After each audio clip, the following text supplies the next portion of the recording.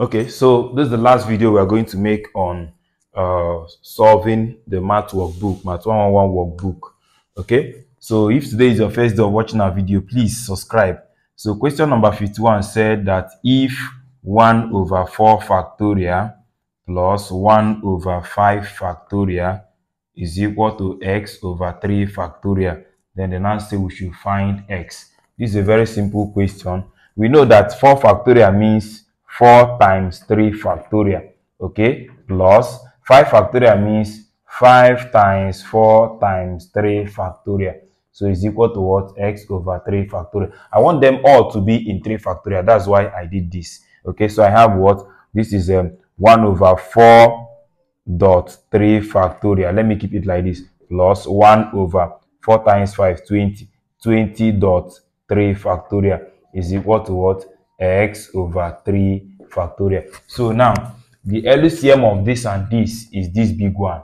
Is this 20 dot 3 factorial. Now, when this divide by this, I have 5. 5 times 1 is 5 plus. When this divide by this, I have 1. 1 times 1 is 1 is equal to x over 3 factorial. This plus this to give you what? 6 over 20 dot 3 factorial is equal to x over what? 3 factorial. If I cross multiply now, I'll have that x staying alone, which this one go up. That is 6 dot 3 factorial all over 20 dot 3 factorial. This take care of this.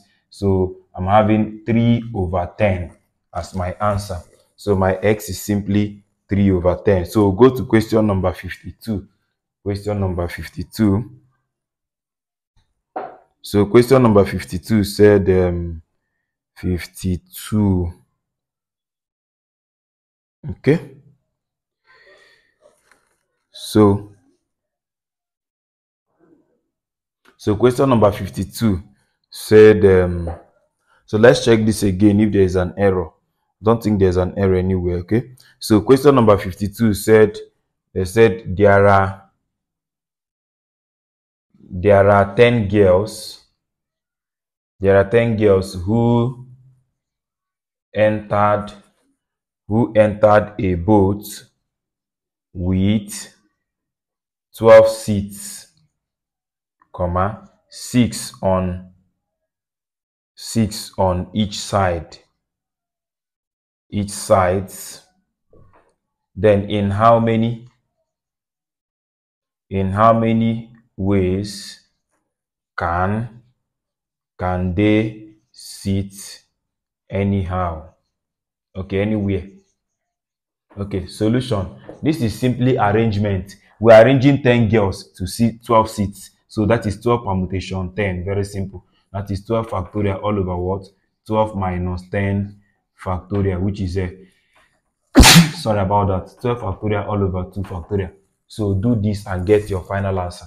So I hope you know that 12 factorial means 12 times 11 times 10 times um, 9 times 8 times 7 times 6 times 5 times 4 times 3 times 2 factorial all over 2 factorial. This cancel this. So do that and get your last answer. So we move to the next question, which is question number 53. So question number 53 Question number 53 said that we should show that show that that n plus 1 permutation r plus 1 is equal to n plus 1 um, sorry is equal to n plus 1 then n permutation r okay so first of all let's see what n permutation n plus 1 permutation r plus 1 let's see what it will give us so this thing is same as what? n plus 1 all factorial all over what? Uh, r plus, sorry, all over n plus 1 minus r plus 1 factorial, which is what? n plus 1 factorial all over uh, n minus r factorial. Because if you clear the bracket, this time this will give you minus this minus this. So 1 minus 1 is gone.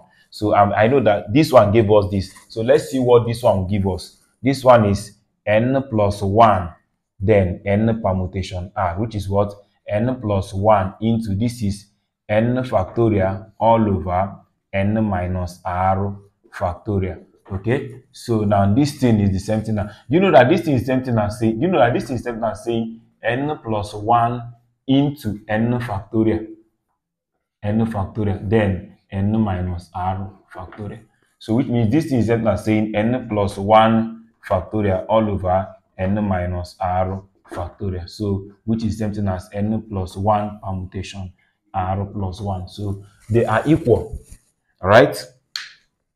So you can watch my video on permutation and combination for you to understand it better. Uh, so question number 54. Question number 54 said um, in in how many ways in how many ways can we arrange the letters the letters in the word the letters in the word R H O rhombus. Okay, solution. Now, rhombus is how many? 1, 2, 3, 4, 5, 6, 7. That is 7 factorial. There is no repetition of any word, so it's just 7 factorial. That is 7 times 6 times 5 times 4 times 3 times 2 times 1. So get the answer. No word is repeated. So, but if any word is repeated, we divide it by that uh, number of words that is repeated. So you can check my video on permutation of uh, the arrangement of uh, uh, alphabets to get that. So question number 55.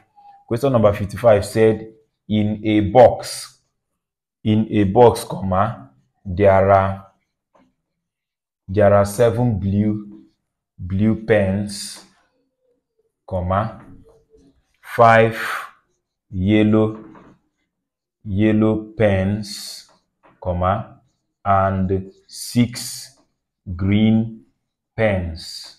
Full stop. They don't say in how many, in how many ways, in how many ways can three BLU, three blue pens, comma, three yellow yellow pens and four green pens be chosen. Okay? Now anytime you hear to choose choosing means uh, combination. While arrangement means permutation? So solution if you want to choose for blue we are choosing three blue out of seven. So we have seven combination three times. We are choosing um, three yellow out of five yellows so i have 5 combination 3 times. We are choosing 4 green out of uh, 6 green. So I have 6 combination uh, 4. So do that and get your answer. So this is 7 factorial all over 3 factorial. Then 7 minus 3 factorial times 5 factorial all over 3 factorial 5 minus 3 factorial times 6 factorial all over 4 factorial 6 minus 4 factorial. So finish it up and get your final answer. Okay, so this is 7 factorial all over 3 factorial, 4 factorial times 5 factorial all over 3 factorial, 2 factorial times 6 factorial all over 4 factorial, 2 factorial. So finish each of them, get your answer, then multiply it, and then get your final answer for that. So question number 56. Question number 56 said, using using Pascal Pascal's triangle okay expand expand 1 minus 2x raised to power 5 now according to Pascal uh, the coefficient for 5 let's check. This is 1 1 2 1 1 3 3 1 1 4 6 4 1 1 5, 10, 10, 5, 1, 1. So according to Pascal, for 5, I'm going to use 1, 5, 10, 10, 5, 1. So I have what? Um, 1. Okay, this is the, the boy and this is the girl. According to my video, you can watch my video on binomial expansion. You understand it perfectly. So 1, this one is this one here. Then if I take this one, this one will be raised to power 5, while the minus 2x will be raised to power 0. plus i'm taking the first one the second one 5 this one now will be raised to power 4 okay? Come out. Then minus 2x will be raised to power 1 that is how we will keep moving. David shift.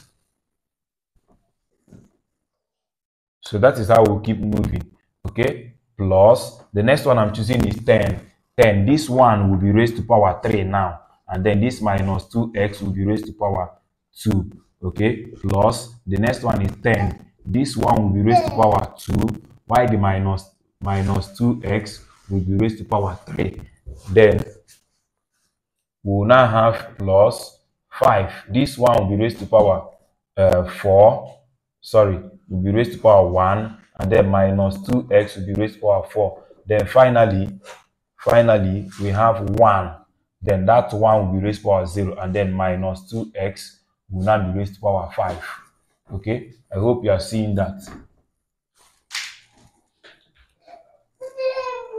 So this is equal to anything raised to power 0 is 1 anything that is raised to power 1 is raised to power anything is still 1 so 1 times everything here i have 1 okay? So plus minus is minus. I have minus uh, 5 times 2 is 10 10x okay? Minus squared is plus. So i have 4 here.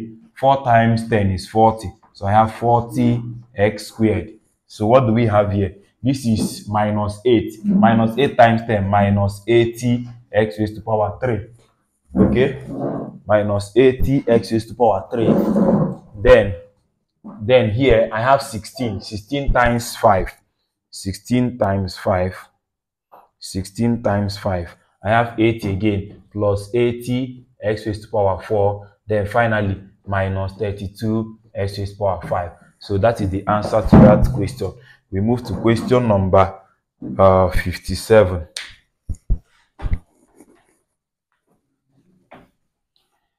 all right.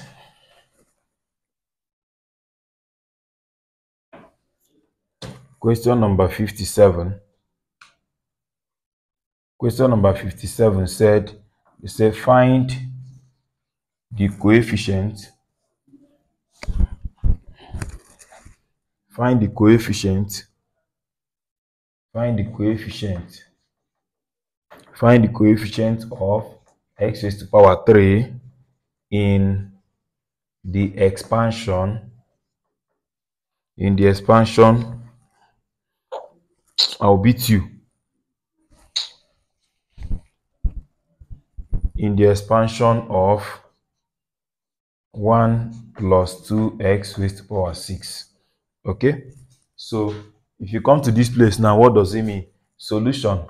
Now anytime you are finding a particular term okay we use a formula that said uh, n combination r a raised power n minus r b raised power r. So if you look at this my a is equal to 1 okay uh, my b is equal to 2x and my n is equal to 6 so the only problem is i don't know is my r. So let me put the ones i already know.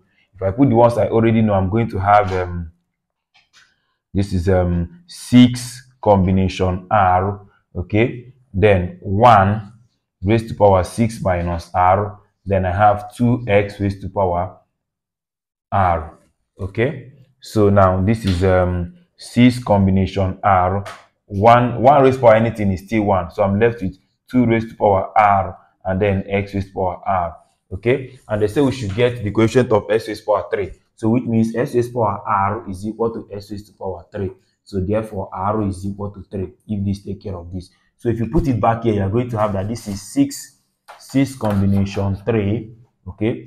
2 raised to power 3 and then x raised to power 3 so which is what? 6 so do this 6 combinations this get the answer times 8 this is 6 combination 3 times 8 then x to power 3 so the coefficient is simply these two. Get the value of these two that is the coefficient. Okay? So get the value of the two of them and that is the coefficient. So we'll go to question number 50